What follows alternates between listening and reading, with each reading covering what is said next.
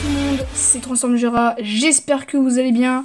On se retrouve aujourd'hui pour une toute nouvelle vidéo sur Brawl Stars, principalement sur l'histoire même de Brawl Stars. Et oui les gars, une histoire de Brawl Stars, enfin, car au début ce n'était qu'un jeu vidéo assez basique, un jeu vidéo de Battle Royale comme beaucoup nombreux. Mais là, avec les mises à jour, comme vous savez, il y avait souvent de nouveaux brawlers, de nouveaux skins, même de nouveaux modes de jeu parfois, de nouvelles choses assez sympathiques, même des easter eggs. Mais là, vraiment, c'est une histoire qui commence vraiment à se créer dans Brawl Stars. Ce qui rendra le gameplay encore plus fascinant, les gars. Et aujourd'hui, on va s'intéresser à cette histoire, les amis. Oui, en effet, les gars, on va s'intéresser à cette histoire, principalement à l'histoire de ce passe de combat car je pense que c'est la plus importante jusqu'à ce jour. Histoire de Brawl la plus grande théorie les gars de la famille. Les gars, la plus grande théorie de la chaîne je pense. La plus grande théorie que vous entendrez parler. Mais non, je blague peut-être pas. Mais avant tout les gars, ce n'est qu'une théorie. Donc, les, ce n'est pas forcément officiel. C'est ce que je pense. C'est ma théorie. Mais c'est pas ce je vous pousse pas forcément à tout croire ni à tout gober. Vous en faites ce que vous voulez. Je vous propose juste ma théorie et là ma vision de Brawl Stars. Allez, let's go Et si vous êtes nouveau sur la chaîne, n'hésitez pas à vous abonner, à partager la vidéo, à liker et à rejoindre le serveur Discord. Ça fait toujours plaisir de parler avec la communauté. Allez, let's go pour bien commencer et être mieux dans, la, vidéo et dans la théorie, il faut savoir que la mise à jour a été lancée le 13, le 13 mai, il me semble, dans le, dans pass de combat qui durera environ 60 jours. Du coup, 60 jours, c'est énorme, c'est deux mois. Et en deux mois, en général, il y a le temps pour deux vidéos, pour deux mises à jour de Brawl Stars, car il y a une mise à jour tous les mois, comme vous le savez très bien. Donc, ça veut dire qu'il y a normalement deux brawlers, car en général, quand il faut une mise à jour tous les mois, il y a un brawler. C'est-à-dire que s'ils font une mise à jour de deux mois, tu te dis, mais il y a deux brawlers. Et non, car à la fin du trailer, on nous a bien dit.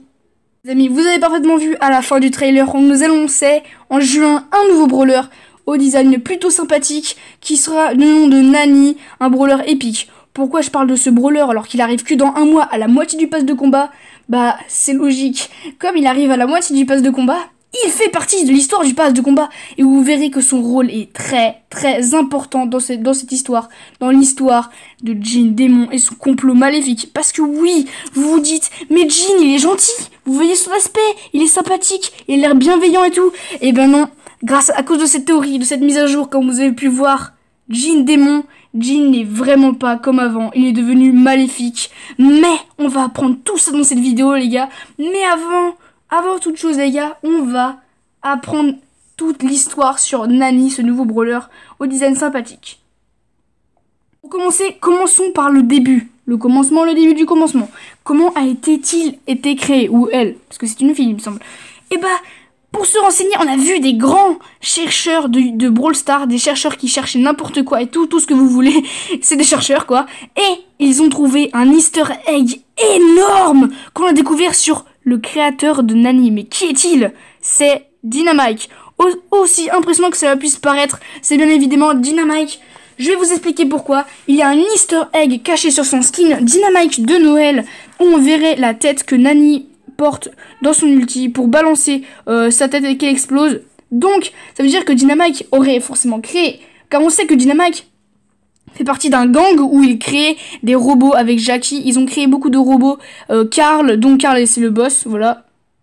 Donc Dynamite aurait créé Nani pour l'aider à manipuler sa, sa mine parce que en évidemment Mike Dynamite vous voyez très bien il commence à être vieux il a besoin d'aide de ses robots pour mieux euh, pour mieux protéger sa mine, on va dire, de, par exemple de voleurs comme Bull qui pourrait aller venir euh, lui voler ses gemmes. Donc il aurait pu créer ça, mais bien évidemment, lui, ses robots, tellement c'est un génie de technologie, Dynamite, ces robots ont une âme, ont une histoire, et ils vivent.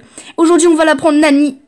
Son histoire est très assez triste quand même parce qu'en fait vous voyez vous avez vu sa création voilà maintenant nous allons s'intéresser à sa vie privée enfin ça lui pas vraiment privé non plus mais voilà comme vous voyez, Nani, sur son bras, aurait un badge avec un cœur dessus. Ce qui pourrait signifier éventuellement, comme chaque personne dans ce monde, elle tombe amoureuse de quelqu'un. Et ce quelqu'un, si je ne l'ai pas choisi par hasard, cette personne, si c'est bien lui, son amoureux, cela fait toute l'histoire de Brawl Stars de cette mise à jour, les gars. Ça fait tout la mise à jour, ça change tout, tout le scénario, les gars. Et en effet, l'amoureux de Nani, tenez-vous bien, c'est Ricochet. Bon, vous vous dites, mais c'est quoi ce bordel? Ricochet, est amoureux avec Pauline, non Eh bah oui, mais, mais, mais, mais... Autant que cela puisse paraître, Nani, elle, est amoureuse de Ricochet. Peut-être que Ricochet est amoureuse des deux, on ne sait pas encore, on n'a pas encore eu d'informations Supercell officielles comme quoi ils seraient été en couple, mais on sait que Nani, elle, est amoureuse de, de Ricochet. Donc, pourquoi on parle de Jean alors? Bah, Vous avez très bien vu son skin Jean Evil Demon.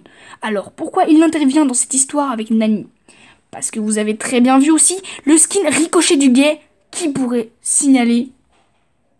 Vous vous dites comment il s'est pris pour manipuler Ricochet. C'est très simple. Comme vous voyez, Jean aurait été manipulé lui-même par sa lampe magique qui aurait fait qu'il soit maléfique dans le trailer par exemple. Vous voyez très bien que Jean Démon enfin Jean sa lampe son magasin de lampes il y a une lampe qui s'est réveillée et a fait une genre une sorte de fumée maléfique qui aurait envahi Jean qui aurait pris son propre contrôle de son maître.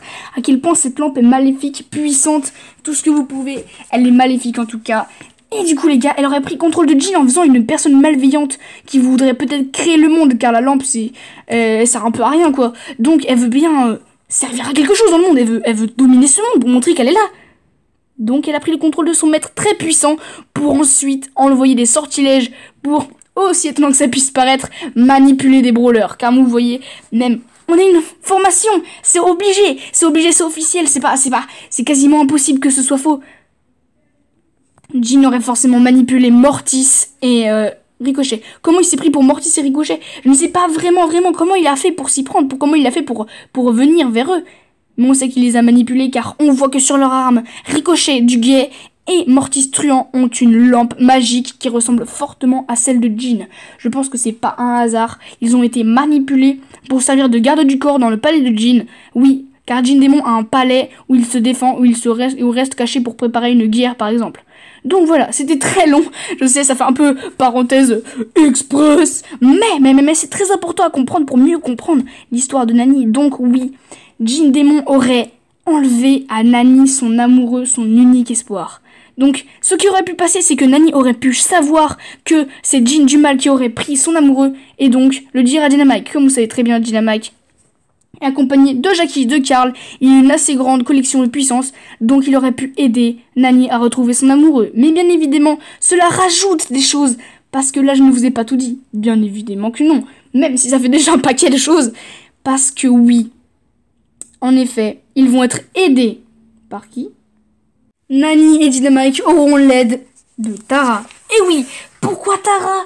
Pourquoi? Car vous savez, Tara aussi a des pouvoirs magiques, a des incantations un peu comme Jean. Cela pourrait même être une amie de Jean. Et elle-même a vu sa transformation dans le trailer. Comme, vous savez, quand la fumée maléfique est sortie, et eh bah son magasin où il y avait un œil pour bah, Tara peut voir sur plusieurs choses dans les œils comme des artefacts magiques. Et eh bah elle aurait pu voir cette scène, aurait été effrayée, donc aurait peut-être essayé de recruter une armée pour stopper Jean et ses, euh, on va dire ses sous-fifres, si on peut appeler ça comme ça, je sais pas vraiment. Mais voilà, donc elle pourrait s'allier. Donc pour l'instant dans l'alliance, on a déjà Tara et le gang de Dynamite. Mais ce n'est pas tout, ce n'est pas tout. Et oui, ce n'est pas tout les amis, parce que Gaël, ce nouveau brawler qui est sorti, est en effet avec un skin marchand Gaël qui aurait peut-être lui aussi travaillé dans l'Égypte là où Jean serait devenu maléfique, comme on voit dans le trailer aussi. Enfin, dans le trailer, c'est surtout l'image de, l'image de serveur. On voit qu'il est poursuivi par Jean et, Mortis Truant et Ricochet du qui peuvent savoir qui travaillent ensemble. Donc, on peut savoir qu'il aurait été un peu agressé par eux. Il aurait peut-être vu un pouvoir magique en, en. On ne sait pas encore vraiment vraiment sur Gaël. On ne connaît pas énormément de choses. Mais on sait qu'il a été poursuivi. Donc Gaël, en effet, bah, va se rapprocher de Jean.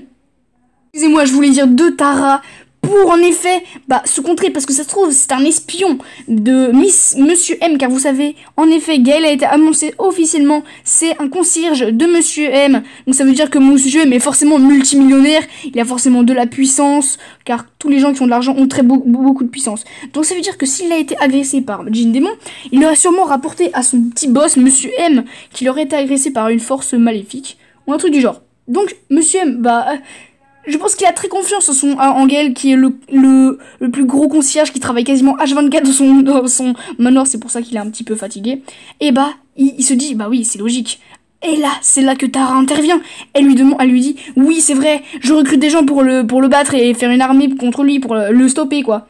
Et du coup, Monsieur et son gang rejoignent la partie pour contrer ce djinn du mal. Bon, je sais que cette théorie était assez longue, mais c'est déjà la fin de cette théorie, voilà. Du coup, à vous d'imaginer le scénario possible. Peut-être qu'on le verra dans les prochains Brawl Pass, la, fin de ce, combat, peut-être. Un combat énorme qui, qui opposera des forces ultra puissantes de Brawl Stars, les gars. Des nouveaux brawlers. En tout cas les gars, si cette théorie vous a plu, n'hésitez pas à vous abonner à la chaîne si vous êtes nouveau, à lâcher des petits pouces bleus, à rejoindre le serveur Discord les amis. Ça fait toujours plaisir à partager la vidéo parce que c'est bien de, plus on est fou, plus on connaît plus la même histoire, on peut en parler à ses potes. Du coup, c'est très important. Je vous laisse cogiter dessus les gars. Sur ce, à une prochaine vidéo. Envoyez-moi vos, vos théories dans les commentaires. Bye